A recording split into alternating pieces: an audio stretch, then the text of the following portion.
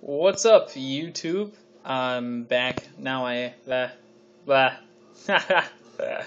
I have Xoom now, uh, and I'm just testing things out.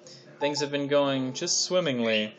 They're uh, it's actually better than I expected the tablet to be based off of the extensive amount of reading I did beforehand. Um, it's uh, it's fast. It's faster than I thought it would be. Yeah, the battery lasts all day with constant use.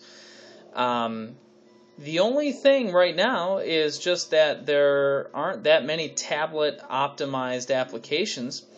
And uh, so things like Facebook, which for some reason doesn't have a tablet app yet, uh, tend to force close.